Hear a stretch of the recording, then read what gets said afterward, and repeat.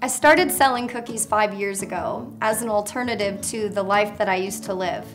And I wanted to launch this Cookies for a Cause campaign so that I could help other women and girls turn their life around. 10% of proceeds from all cookies sold will go to help the building at Refuge City, which is a local safe house in Dallas that helps rehabilitate young children and adults.